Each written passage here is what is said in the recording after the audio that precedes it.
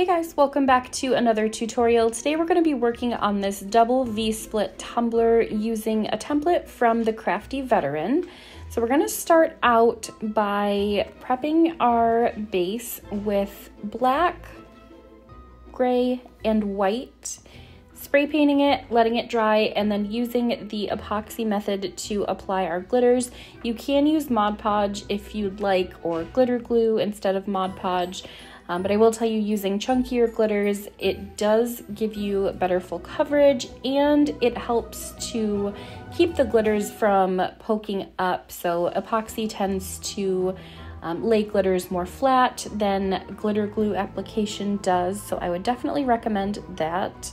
And first we're gonna go in with Caviar. This is from Peachy Olive Glitters. We're going to apply that to the bottom and then tip the cup at about a 45 degree angle to let it cascade down into the darker gray section um, just to get a good fade so we can prepare ourselves to lay down that gray color. Next, we're going in with Jedi, and I'm going to hold my cup at a 90 degree angle and just go around in a circle to kind of get a good roadmap going of where I want the darker gray to go.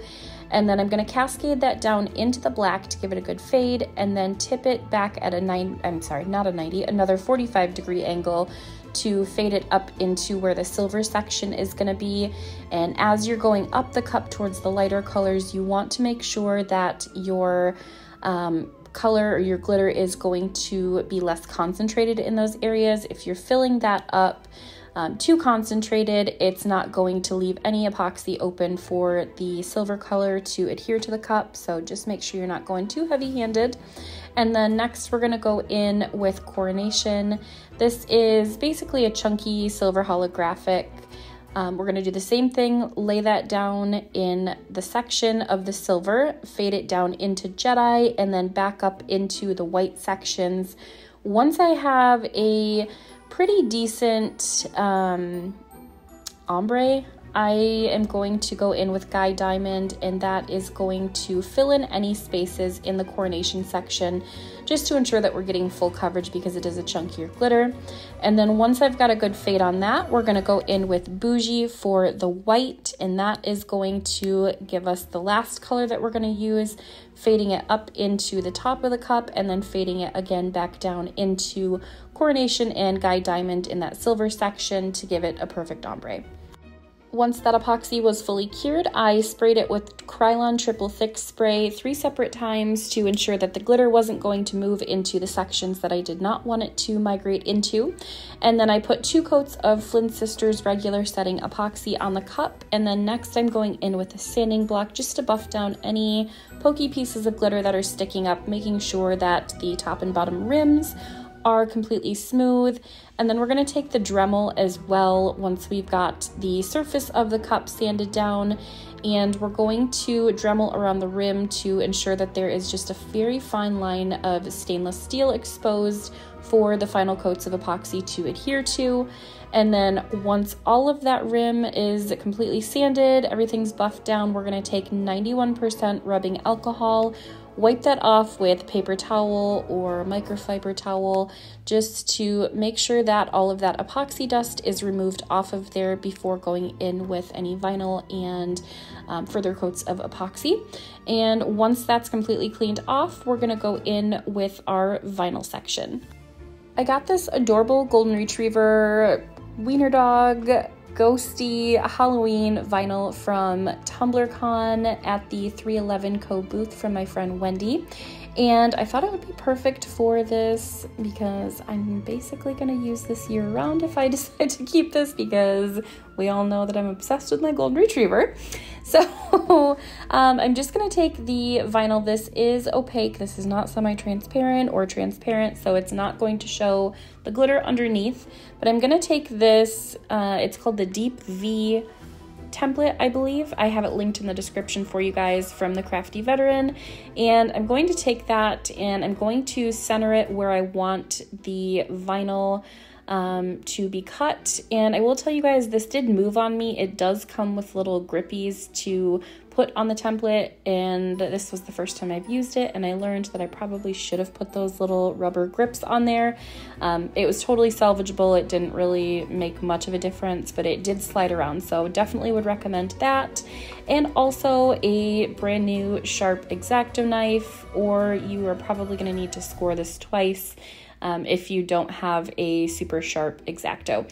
So we're to cut that out in two sections, so same size, same everything, and then I'm gonna go in with my striping assistant tool from the Amy's Make Everything, and I'm just basically scoring the top and the bottom of my tumbler to get a straight line um, where I want the base of the V-split to sit and then where I want the top of the V-split to sit. I wanted to make sure that they were equally spaced from both the top and the bottom of the cup, and then also that they were spaced um, centered, I guess I would say. Like the distance between the two splits were the same on the surface of the cup.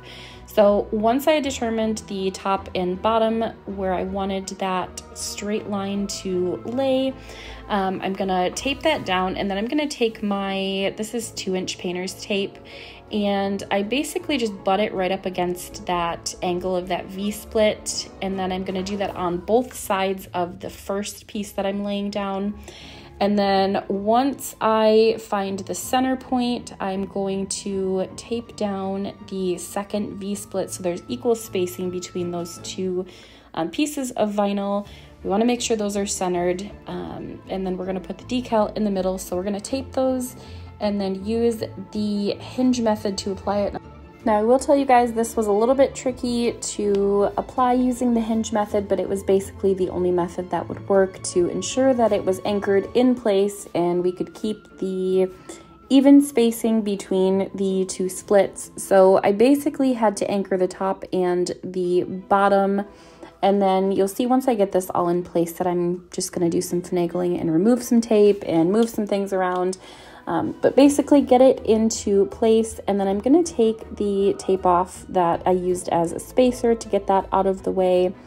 And then we're going to remove the tape at the bottom here and cut away the backing like we normally do using the hinge method. So I exposed probably about an inch of um, the adhesive from this vinyl taking that backing off, and then we're going to use that base as an anchor to ensure that it doesn't move once we get it in place. Um, and then once I've got that anchored down, I'm going to remove the tape from the rest of the cup, but we're basically going to have to apply it instead of going like in the center um, and applying it from bottom to top or top to bottom, we're going to have to work it from left to right, if that makes sense. So just so it didn't get any wrinkles or anything like that, you'll see me here, I'm pulling the one side up and then once I've got that backing pulled up so it doesn't crinkle, I'm just putting my thumb um, with firm pressure, pressing it towards the top of that tip, and then we're gonna go and push down the sides. So if that makes sense or not, hopefully seeing it visually helps you guys. Um, but just be careful because this does wrinkle really easily using this type of an odd shape um, using the hinge method.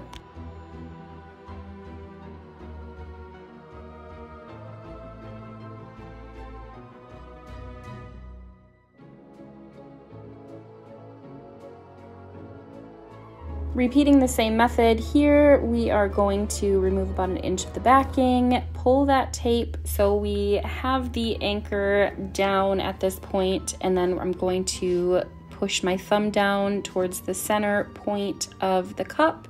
And then once we've got that tip fully laid down, we're gonna go back in through on the side and lay that down basically working from the center outward to ensure that there's no wrinkling, no bubbles. I had one bubble that I had to pop here that you're seeing, and that was it. So as long as you're patient with it, taking your time, um, not rushing things, you should be able to get a pretty solid application of this vinyl. And then I'm gonna take this orange holographic from Tap Tech Wrap Craft. And FYI, TeckWrap asked me to be a brand ambassador or an affiliate for them, so I will have a discount code coming for you guys soon here. Um, but I am going to lay that orange down at, I cut it out at 0.08 inches by 11 and a half. And then I took black, just plain flat black vinyl. I cut that out at 0.05 by 11 and a half inches. And I'm going to lay that right over top of the orange. And at this point, we are laying it directly over top of this printed vinyl. There is not a coat of epoxy between the two. When I laid the vinyl striping down, holographic is notorious for showing any lumps and bumps underneath it. So I would recommend if you're not doing a coat of vinyl between the two that you are putting it, basically butting it right up against the printed vinyl, not fully overlapping it because it's going to show that little lip there um, where it is going over top of the printed vinyl. Um, if you're doing a coat of epoxy, you don't have to worry about that. You can just lay it wherever on the printed vinyl, but just a forewarning. And then we're gonna lay down the sides and then the base.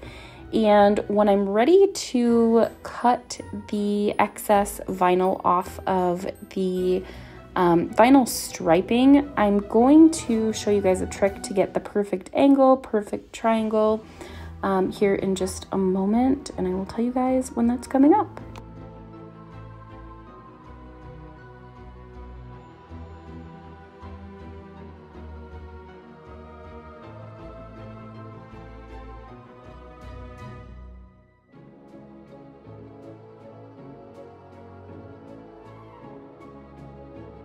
Okay, so my trick to getting the absolute perfect score on an angle I'm taking the X-Acto knife and I'm going to slice it directly center where the two pieces of vinyl are overlapping, if that makes sense. You'll see it here again where you see the very like 90 degree angle of the inner portion of that vinyl where it's crisscrossing and then like the 90 degree on the outer portion I don't know if 90 degrees is the right term, but basically where they intersect, you want to cut it straight through so it creates the perfect V. And you'll see here that it's scored perfectly. I use that trick every time and every one of my V-splits or anything that I'm doing vinyl striping on always comes out perfectly. So definitely would recommend doing that. Next, I created this SVG and I used the font from Creative Fabrica called Spooky Halloween. It says Tricks for Treats, and then I found a little bone from Creative Fabrica as well, and I used that same font, just lessened the font size, and then I sliced the word for out of the bone so it would peek through um, as the orange in the bone from the base. The offset is at 0.053 and then it's about six inches in width. And then I'm just, again, gonna use my tape at the top and the bottom. I hate measuring things with a passion. So I'm gonna use my one inch painter's tape just to kind of get a good, um, kind of rough draft where I want it placed to make sure that it's going to be centered and angled both on the top and the bottom evenly. And then once I've got that in place, I'm going to use the hinge method once again, removing the backing from that vinyl, and then I'm just gonna pull up the rest of it all at once. And I'm gonna use my finger again just to press all of that SVG down all at one time. Once all of the vinyl work was laid down, I put this on my turner with a coat of polyacrylic just to ensure that none of the vinyl was going to lift under the epoxy. And then after about 30 minutes of letting it air dry, I went in with one final coat of Flynn Sisters regular setting epoxy that cured overnight and it was dry by the next morning and this cup was finished. So let me know what you guys thought in the comments. Don't forget to like and subscribe. Hit that bell button if you want to get notified of future tutorials, and I will see you guys next weekend.